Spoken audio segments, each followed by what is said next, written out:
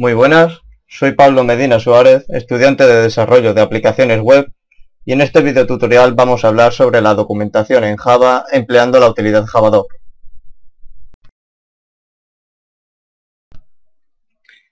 En primer lugar, vamos a contestar a la pregunta ¿qué es la documentación Javadoc? Para ello, primero debemos entender el concepto de documentar. Documentar el código de un programa es añadir suficiente información como para explicar lo que hace, punto por punto, de forma que las personas que acceden a este entiendan qué hace y por qué lo hace. La documentación se hace mediante la inserción de comentarios dentro del propio fichero del programa, y siempre se realiza la documentación a la vez que escribimos el código. Para facilitarnos la tarea, Oracle incluye la herramienta Javadoc, que toma en consideración los denominados comentarios Javadoc, los cuales han de tener una sintaxis concreta y genera un conjunto de páginas web a partir de ellos. Este programa que he tenido en pantalla no contiene documentación, por lo que si queremos entender su, funcionamiento, tendremos que hacerlo a base de leer el código y comprenderlo, tarea en la que podemos perder muchísimo tiempo.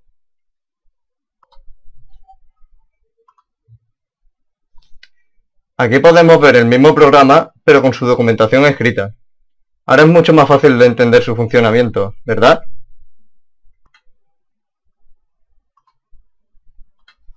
Y aquí podemos ver el resultado final, después de todo el proceso de documentación, una vez generada la página web mediante la herramienta Javadoc. Con esto quiero decir que la documentación de un programa es algo muy necesario, y que es apreciado sobre todo cuando hay que solucionar errores o hay que extender el programa con nuevas capacidades o adaptarlo a un nuevo escenario. Y si hacemos un buen programa, estos casos ocurrirán siempre.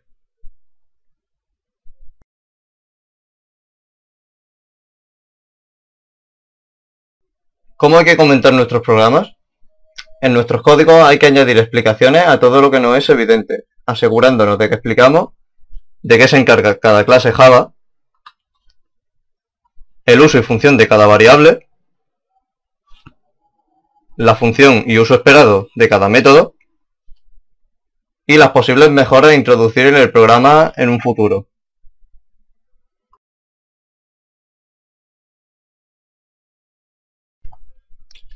Ahora veremos el formato que deben tener nuestros comentarios Javadoc. Los comentarios deben aparecer inmediatamente antes de los elementos a comentar. Y deben empezar con los caracteres barra asterisco asterisco y terminar con los caracteres asterisco barra. Los entornos de desarrollo suelen resaltar este tipo de comentarios con el color azul. La primera frase de cada comentario de documentación debe ser un resumen que contenga una descripción completa y concisa de la entidad comentada. Las demás frases ya serán comentarios más entrados en detalle. Las etiquetas principales son las siguientes. La etiqueta author, seguida del nombre del autor, indica el nombre del desarrollador. La etiqueta deprecated, seguida de una descripción, indica que el método clase es antigua y que no se recomienda su uso, porque posiblemente desaparecerá en versiones posteriores. La etiqueta param, seguida del nombre del parámetro, y una descripción, es la definición de un parámetro de un método, y es requerido para todos los parámetros del método. La etiqueta return, seguida de una descripción, informa de lo que devuelve el método, y no se puede usar en constructores o métodos que no devuelvan ningún valor, es decir, su devolución sea void. La etiqueta si, seguida de una referencia, asocia con otro método o clase. La etiqueta throws, seguida del nombre de una clase y la descripción, indica la excepción lanzada por el método. Y la etiqueta version, seguida de un número de versión, indica la versión del método o clase. Si utilizamos un entorno de desarrollo y queremos ver rápidamente la etiqueta entre las que podemos elegir, Solo tenemos que introducir la arroba y nos aparecerá un menú desplegable en el que aparecen todas las etiquetas. Si por casualidad este menú no apareciera, solo tendríamos que introducir control espacio y veremos que nos aparece dicho menú. Como hemos visto anteriormente, el resultado final del Javadoc es el de crear una página web. Por lo tanto, podemos introducir etiquetas HTML dentro de nuestros comentarios Javadoc. Aquí, por ejemplo, estoy separando entre párrafos mediante la etiqueta P y estoy creando una lista con sus correspondientes elementos mediante las etiquetas UL y LI. Si estamos en un entorno de desarrollo y queremos ver las etiquetas HTML entre las que podemos elegir, solo tenemos que introducir la combinación de teclas control y espacio. Y veremos un menú desplegable en el que se nos muestran las etiquetas. También existen otro tipo de comentarios que no aparecerán en el Javadoc. Son el comentario de una línea y el comentario de varias líneas. Para crear un comentario de una línea debemos describir las dos barras inclinadas y a continuación el comentario de una línea. Para crear un comentario de varias líneas tenemos que introducir la barra del asterisco, el comentario de varias líneas y finalizar con el asterisco y la barra. Para finalizar el tema del formato en los comentarios Javadoc, vamos a hacer un pequeño ejemplo de documentación. En primer lugar vamos a documentar la clase. En la primera línea introducimos una descripción breve y concisa de la clase. A continuación podríamos introducir una descripción más extensa. Y a continuación introducimos las etiquetas básicas. Author, y versión. A continuación vamos a comentar un campo. Para comentar un campo hacemos lo mismo.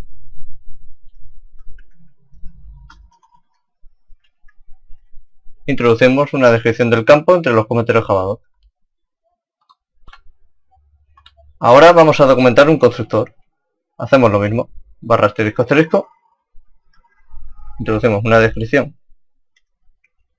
breve del constructor y a continuación adjuntamos las etiquetas necesarias. Vemos que se han generado automáticamente tres.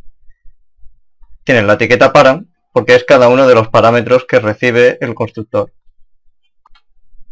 Y por último vamos a comentar un método y volvemos a hacer lo mismo. Barra asterisco asterisco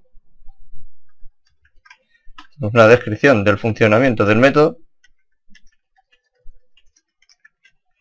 y en caso de que sea necesario introducimos la etiqueta pertinente.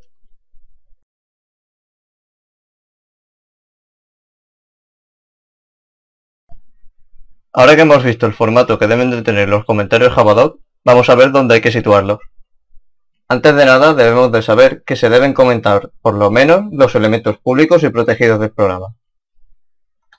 Los comentarios Java deben aparecer siempre antes de cada clase, antes de cada campo de la clase o campo de un método, en cada uno de los constructores y antes de cada uno de los métodos de la clase.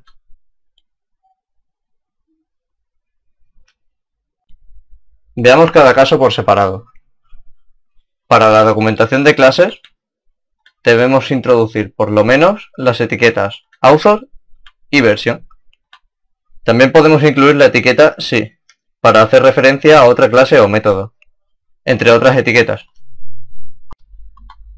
En el caso de la documentación de constructores y de métodos, debemos introducir como mínimo la etiqueta para, en caso de que tenga argumentos, la etiqueta return, en caso de que devuelva algún tipo de dato, y la etiqueta throws, en caso de que se lance alguna excepción.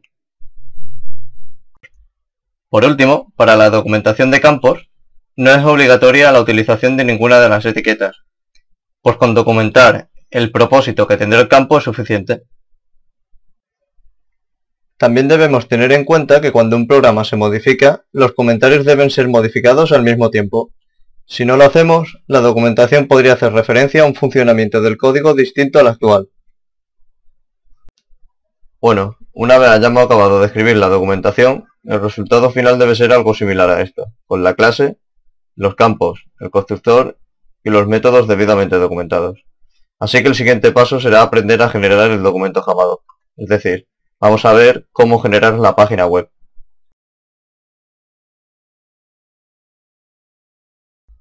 Para generar el documento Javadoc podemos elegir entre usar el terminal del sistema operativo que utilicemos, ya sea el símbolo de sistema de Windows o el shell de Linux, o utilizar la herramienta de generación de documentación que suelen traer los entornos de desarrollo en los que se puede trabajar con Java.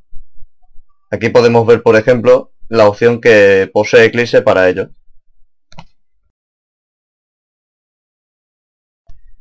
Veamos primero cómo generar el documento Javadoc utilizando el terminal de Windows. Para ello tenemos que acceder a la carpeta donde se encuentran las clases de Java que queremos documentar. En mi caso, por ejemplo, están en mi workspace de Eclipse, carpeta de ejemplo Javadoc, en la carpeta source, es decir, src. Entonces, hacemos con la tecla Shift apretada, clic derecho sobre la carpeta y elegimos la opción Abrir ventana de comandos aquí. Nos aparece el terminal y debemos introducir a continuación el comando javadoc, seguido de, determinadas opciones. Estas opciones alterarán el resultado final del javadoc, pudiendo incluir el nombre del autor, de la versión, entre otras opciones. Para ver todas las opciones en las que podemos elegir, solo tenemos que hacer javadoc help y aquí podemos ver todas las opciones.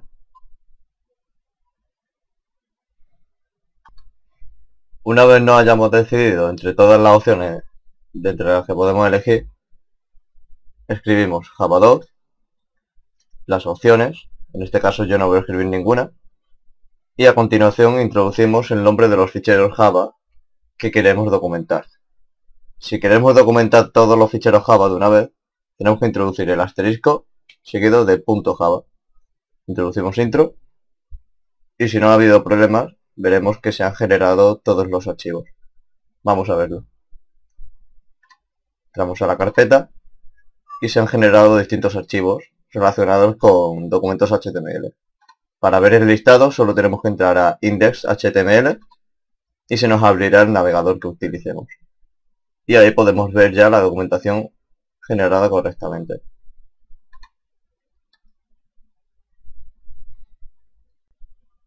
Sin embargo, es mucho más recomendable generar el Javadoc desde un entorno de desarrollo. Yo, por ejemplo, utilizo un entorno de desarrollo Eclipse, pero el procedimiento a seguir es prácticamente el mismo en todos los entornos de desarrollo. Veamos cómo se genera el Javadoc desde Eclipse. Tenemos que acceder a la pestaña Project o Proyecto y elegir la opción Generate Javadoc o Generar Javadoc. A continuación elegimos las clases de las que queremos generar su documentación. Yo lo haré de todas, menos de cuenta sin comentar, así que las pico. Vamos a Next. A continuación podemos elegir de qué se creará el documento Javadoc en función de la visibilidad que tenga. Si elegimos la opción Private, se generará Javadoc para todas las clases y miembros. Si elegimos la opción Package, se generará Javadoc para todas las clases y miembros, excepto las privadas.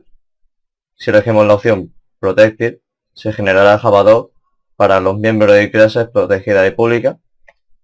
Y si elegimos la opción Public, se generará Javadoc de las clases y miembros públicas.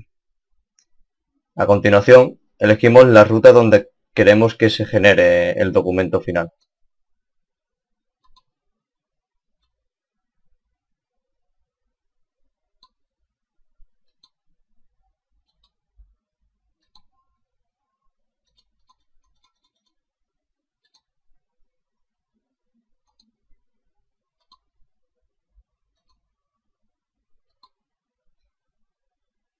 Le damos a Next.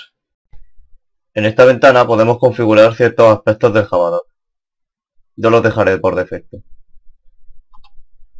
En la siguiente ventana que nos aparece, podemos introducir las mismas opciones que vimos cuando desde el terminal de Windows introducimos la opción javadoc-help. Yo en este caso no introduciré ninguna. Por último, damos en Finish. Y si todo ha ido bien, si accedemos a la ruta donde elegimos generar el Javadoc, nos deberían haber aparecido los nuevos archivos. Aquí lo tenemos. Ahora abrimos el index y aquí tenemos el resultado final con la documentación de todas nuestras clases, constructores, métodos y campos. También podemos consultar la documentación generada desde nuestro entorno de desarrollo.